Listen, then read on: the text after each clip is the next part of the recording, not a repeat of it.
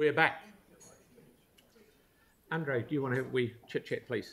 Thank you. Yeah, um, no, taking staff advice and um, uh, any changes to 10Ks would have to go back to hearings panel, which is obviously a long-winded, drawn-out um, and, and indeed costly process. So I'm happy to withdraw my amendment on that basis. Um, I put the amendment forward um, just to query, you know, to make sure we are making the best decision um, that we can. Uh, and I have reservations about what the public will think about 10Ks. I tried driving through 10Ks through my local retirement village, Anthony Wilding, and uh, bless them, I do really struggle to drive at 10, but I do. Um, it is one of the most painful exercises uh, that you will do. Um, but the, I have, I've got full faith in the hearings panel. Um, they're very confident they've consulted on this, it received the feedback, um, and, and I'm satisfied with that. Um, Thank you, but do have concerns Yeah, uh, fair comment, as fair to how 10k will be seen. Excellent. And indeed with exercise that- when driving through. Thank you. So, so Any other debate? Any other debate? any other debate? Aaron? and you? Yeah, I, I was happy to support Andrei in that um, and because I too agree that 10k an hour doesn't make much sense. Um, that is the car park speed limit that our council uh, suggests, or we have. If you look up parking lot speed limits, it is that is a parking lot speed limit. This isn't a parking lot. It is a place where people will commute through on cycles. And to Kelly's point around the speed of cyclists, the average beginner cyclist does over 20k an hour when they're cycling along. So uh, they are from what? Sorry, the what? Let him go. Uh, and when we first put the cycleway network on the budget of this council to encourage more people to cycle, the overwhelming feedback we got from people cycling is they wanted their cycling commute to be as quick and efficient as possible. Uh, so encouraging, uh, slowing cyclists down through there, for me, makes no sense. Um, 10k an hour is, like Andrei pointed out, uh, painfully slow. Uh, I would have been happy with 20 or the marked area speed limit of, of 30. Um, so doing this, uh, to me, makes no sense. Uh, and it should be perpendicular car parking through there anyway. High Street, forever and a day, had perpendicular car parking on one side of the road and parallel on the other. And it worked really well down through the section uh, outside Echo Records and uh, uh, Winds were down there, at Java Cafe. It was a very busy area uh, and it operated really, really well. So this is um, overkill and an overspend on something that could be more efficient. Okay, Pauline. Oh, sorry, Sam. Sam was next. Just really briefly, I just wanted to thank uh, Mel, John, and, and Mark for the work they've done on this. I, No, I think, I, I, I go along. That's a lot of work gone into yeah, this. we, we kind of do ourselves a bit of a disservice when we relitigate a lot of this stuff. And, and I get where people are coming from with the speed limit stuff, but it is really helpful if it's raised prior to, so the staff can get the proper advice.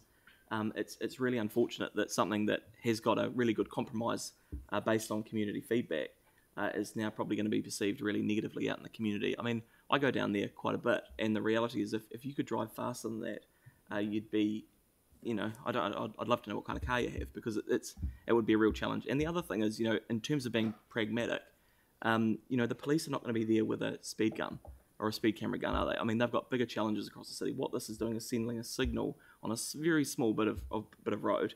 And I think the uh, the heartening thing for me was that Melanie, John, and Mark have been able to get a really good compromise in the community, which is what we ask the hearings panels to do. That's so what they're all about. we shouldn't relitigate this. We should, you know, should just let them get on and and um, uh, the last thing we need to do is create more work for what is a small stretch of land. Yeah, all right. Pauline? Thank you. Look, um, yeah, I I want to echo the thanks to the hearings panel and Melanie as well for chairing that because it's a, an excellent outcome, I think. And I think 10Ks is perfect for along there. It's a beautiful stretch of road and um, it's taken a while to, um, to have it restored. And I remember when the work was being done on the buildings, I think we had to agree to take out some trees there so that they could restore the verandas and the buildings properly. Um, and so you wouldn't want to go any faster than 10 k's. You'd miss it all. Um, and that whole area there, that whole McKenzie and Willis, Ellis's, Cotters building, um, it's all, it's an incredible wealth of heritage, and it's a The beautiful, conflict beautiful. that you can't speak. I don't own it anymore. It's a beautiful part of the city. So I'm fully supportive of the recommendation. Um, I'm a little bit with uh, Councillor Templeton on that right hand turn. The last thing we want to do is see it become a, a through fare, a cut through.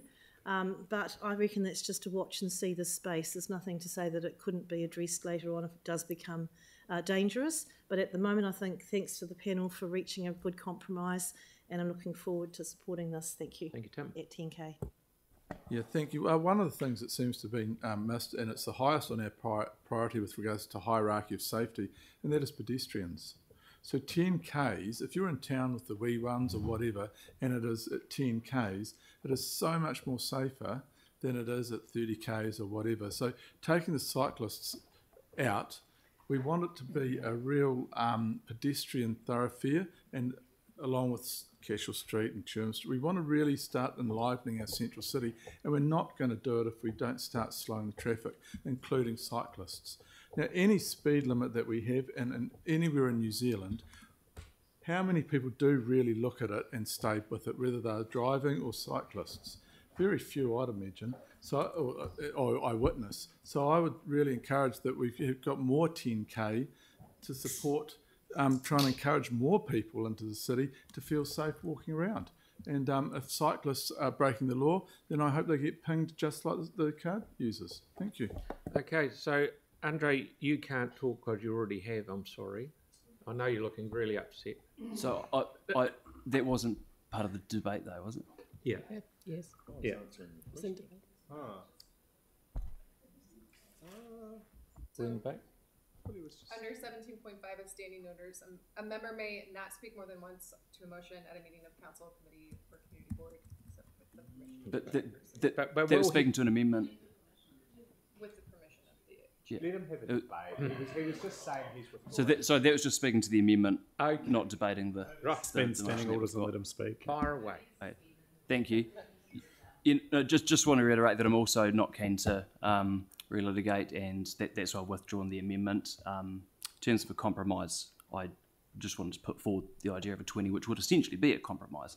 Um, I do genuinely want the public to have full faith in what we're doing here, um, and yeah, wanted us to consider if that was a maybe a way of achieving that.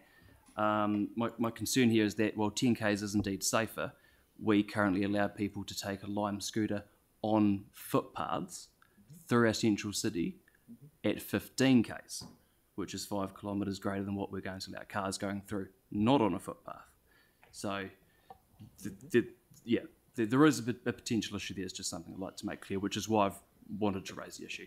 Thank you. Good point, mate. Yeah, Arnie, did you have something? I saw your hand up. Yep.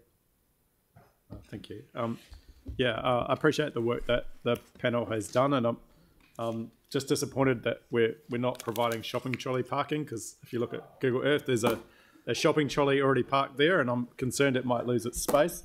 Um, but I, but in seriousness, I would like council to address the shopping trolley issue. And I know that's for a different different day, but um, just to show the impact.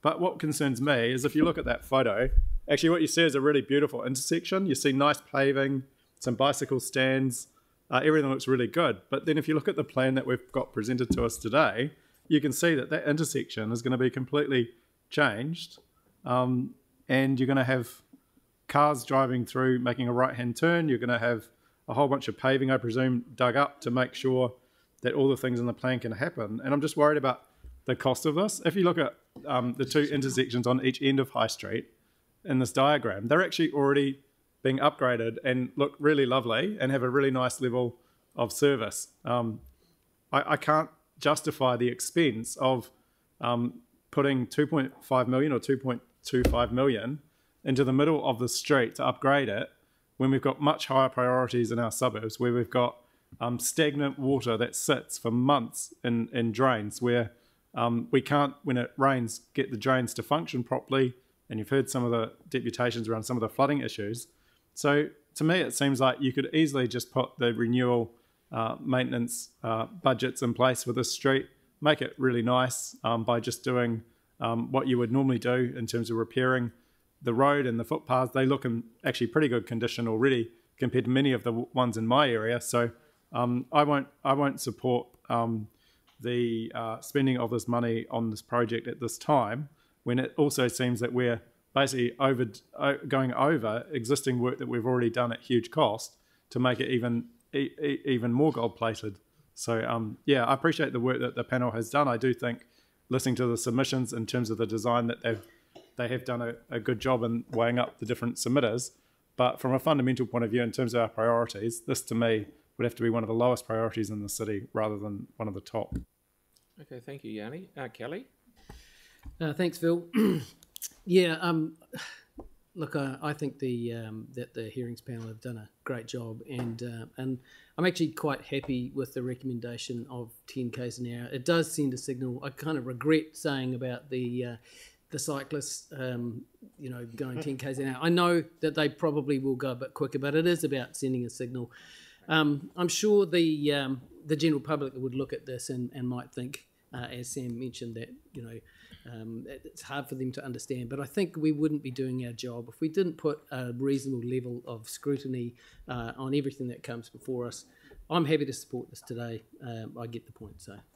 Okay, so we're, oh, we're away laughing. So I'm going to put the motion, all those in favour? All those against? Ooh, so we've got one, two, three. Hands.